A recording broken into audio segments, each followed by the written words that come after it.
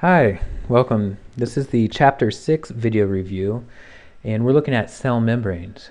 So you might think of a plasma membrane or a cell membrane as a pretty straightforward idea, but it's such an important part of the cell that we have an entire chapter to look at it more closely. Right, when we when we talk about plasma membranes, we consider this idea of the fluid mosaic model. And what that means is that the cell membrane is both fluid, which means it has movement and flexibility, so it's fluid, and it's also mosaic, which means it's made up of lots of different parts. Okay, so it's a mosaic as well. Just like a picture is made up of lots of parts, a mosaic, and the water is fluid. Now, if you look at an actual plasma membrane, we see that we can see this fluid mosaic concept. So here's a plasma membrane picture, and within inside of it, there are lots of components, right? That's the mosaic part. There's proteins, the little yellow is cholesterol, there's phospholipids, and it's flexible. So you can see in this diagram there's some movement across the membrane. So it's both a fluid and a mosaic.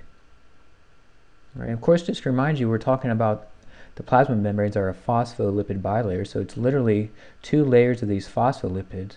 Remember, the interior is hydrophobic. That's where the fatty acid tails are. They're hydrophobic, means water fearing. And then the top part is the hydrophilic region. So that gives unique chemistry to the plasma membrane. And as a result, we have what's called selective permeability. So only certain substances will pass through. So this membrane is selective in what it allows to pass through, and it's based on the chemistry inside the plasma membrane and the chemistry of the molecules trying to pass through. All right, we're going to be talking about different types of transportation of substances across the plasma membrane, and essentially we have two types of transportation, passive transport and active transport. The first type we'll look at is passive transport, and passive means without using energy. Okay, so when we think of passive transport, you want to think of two things. Does not require energy and second, it goes with the concentration gradient. So what that means, it goes from a high concentration to a low concentration. So you can think of this ball moving down this hill. The ball naturally rolls down a hill without you having to keep pushing it. Gravity will pull it down all by itself. And this is the concentration gradient from a high region to a low region. So we have three types of passive transport, diffusion, osmosis, and then we have facilitated diffusion, which just means diffusion that's aided by other um, molecules, uh, channel proteins or carrier proteins. Now diffusion is the simplest one and if you think about an example of um, if somebody has a cup of coffee in a room, eventually that whole room you'll be able to smell it. So those little particles of the coffee, the smell is going to diffuse across the whole classroom and it's going to go from an area where it's high concentration, where the cup is itself, and it's going to diffuse across the classroom. Okay, here's the example from class. If you put drops of color in a beaker, eventually those colors will go from where they're in high concentration to where they're low, and they'll continue to mix within that beaker until they get to a state of equilibrium. Okay, this um, beaker on the right there. So it's a pretty simple concept, but you want to remember no energy is required, and you have a movement from a high concentration to a low concentration. So the red is going to move towards the right where it's in low concentration and the blue is going to move towards the left and the green is going to go in both directions. So if you look, we get a complete mix or equilibrium of the components. Now osmosis is also a type of passive transport and this has to do with the diffusion of water across a um, permeable membrane. Okay, so water across a permeable membrane, so maybe the plasma membrane, for instance. And essentially, what's happening is the water is going to go from areas where it's in high concentration or it's more pure to regions where the water is in a lower concentration. So one way I like to think of this is water diffuses from where it's pure to less pure. Okay, pure to less pure. So let's look at some examples. Okay, we have three types of solutions when we're talking about osmosis, hypertonic, isotonic, and hypotonic. Hypertonic, the first one here, means there's more stuff dissolved outside of the cell than there is inside of the cell. All right, so if you look at this, on the left, this is inside the cell. On the right, this is outside the cell. You see all this stuff dissolved there. So the water is more pure inside the cell, less pure outside the cell.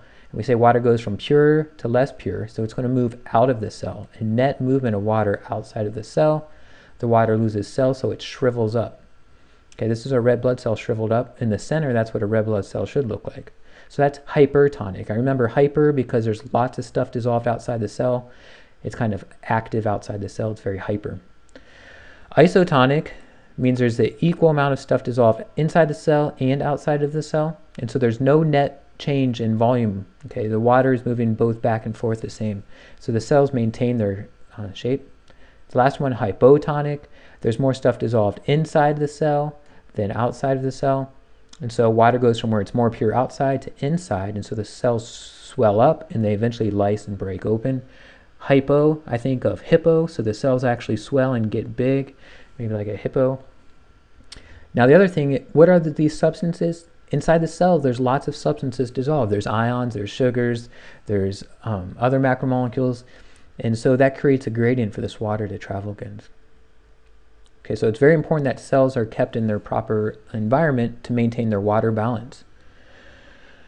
So for passive movement, remember we're talking no energy in the movement with the concentration gradient or from high to low, we have diffusion, okay, we have osmosis. Then we have facilitated diffusion. Facilitated means to help, and when we have facilitated diffusion, there's two types of helpers. We have channel proteins and carrier proteins. So let's look at some examples of these. Channel proteins, okay, they come in two forms. Here's one, a gated channel. So what a gated channel is, is a membrane protein, a transmembrane protein. It means it spans the entire um, span of the plasma membrane, and it creates a, a, uh, a channel. That's why it's called a channel protein. And this signal molecule, or what we call a, a stimulus or a ligand, will bind to this uh, channel protein, this gated channel. So it's closed now, the gate's closed. When the signal molecule binds, the channel opens, and these substances outside the cell can diffuse through. So they're helped um, in the fact that now they have a passage through this plasma membrane. There's no energy used, but we're just creating a channel for them to pass through. Um, a note here is that let's imagine these substances are charged, they're polar, and so they're hydrophilic, they like water. So it's hard for them to pass through the membrane by themselves, but if you create a channel, a favorable channel, these molecules can then diffuse through, no problem. So that's why it's called facilitated diffusion. Okay, so we have gated channels. We also have ion channels. These are specialized channels, so there's proteins that create a channel in the membrane and they allow specific ions to pass through.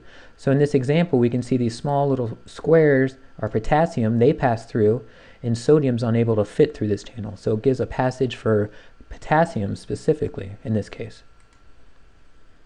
Another type of facilitated diffusion we have um, requires a special type of membrane protein called carrier proteins. What carrier proteins are, kind of similar to the channel proteins, but they're transmembrane proteins, and in this case we're going to see glucose being transported across.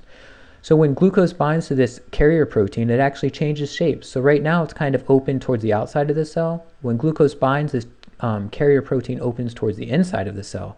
Glucose is brought in through um, diffusion. So there's no energy required. It's just re related to the fact that when glucose binds, this protein changes shape and allows the glucose to pass through. So there's carrier proteins that allow sugars to pass in and also amino acids, which are required for proteins, right? All right, so those were all passive transportation, no energy, and we went with the concentration gradient. Now we have the last part here, we'll look at some active movement, and the key with active movement is that we, um, we actually do require energy, so I'll fix that, and the movement is against the concentration gradient. So you can actually go from a low concentration to a high concentration. All right, so it's kind of the opposite of the passive. So active requires energy and it can move against the concentration gradient. Okay, we have a, um, some basic types of transporters for active movement. Uniport, which moves one substance in one direction. A symport, which moves two substances in one direction. And then we have an antiporter, which moves two substances in opposite directions. Okay. And when it comes down to active transport or active movement, there's two main types. There's primary active, which uses energy from ATP directly, and this is the sodium potassium pump we'll see in a second. And then there's secondary active transport, which uses some other sort of gradient to transport molecules into the cell. All right, so we'll take a look at these and pull them all together. So on the left here, we have the sodium potassium pump. This is a primary transport um, mechanism. It's found in all animal cells.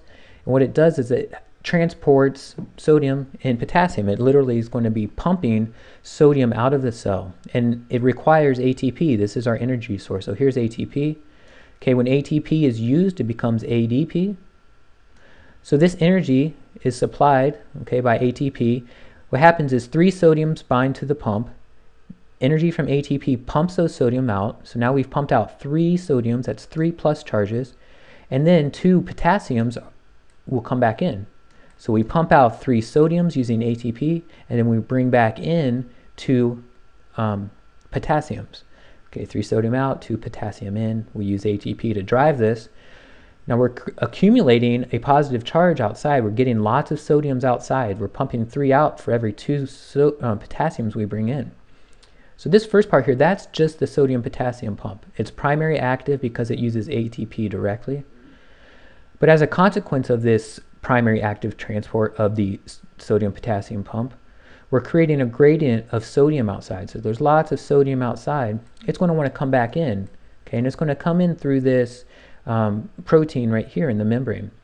And so when the so sodium wants to come back in, what it's going to do is going to sneak a glucose in with it. So the glucose sneaks in with that sodium that's trying to come in. And this allows us to bring glucose in even if it's against the glucose concentration gradient. All right, so that's good. It helps us get a lot of sugar inside the cell so we can use it for energy. So the first part here is just the sodium potassium pump. It's a primary active transport, but the consequence of the primary active is that we create a gradient of sodium outside that can be used for the secondary active transport. So we've pumped out lots of sodium using ATP. Now the sodium wants to come back in naturally. So when the sodium moves with its concentration gradient in, it's going to sneak some glucose in with it against the glucose concentration gradient. And we want to get glucose in because that's our energy source, that's our fuel. All right, so really focus on this slide in your notes and um, make sure you understand the concepts of primary and secondary active transport and the sodium potassium pump. So those are good examples of how we bring in small molecules or you know rather small molecules, but there's other way things are brought into the cell. And the three major classes, apart from the transporters that we saw, are phagocytosis, is a way of bringing in large materials. Pinocytosis, which is sometimes called cell sipping, is just bringing in small amounts of um, liquid and fluids sur surrounding or adjacent to the cell. And then there's a very specific type of endocytosis called receptor mediated endocytosis. This is based on receptors on the plasma membrane that bind to a very specific uh, substance and then it gets brought into the cell. So receptor mediated endocytosis is very specific. Um, and then phagocytosis and pinocytosis. All right, so you can look at those uh, more closely from our notes in class. And then lastly, I'll just remind you, we're talking about bringing stuff in, but sometimes we need to um, get rid of stuff or have things leave the cell. And this is called exocytosis. Exo for exiting, cytosis meaning the cell. So we're exiting the cell. Essentially what happens, substances are packaged in vesicles. These vesicles fuse with the plasma membrane and that stuff is released. Kind of what we saw with the uh, endomembrane system in the previous chapter. So you might wonder, why would you do this? Well, one of the big things, you might want to get rid of, rid of waste materials.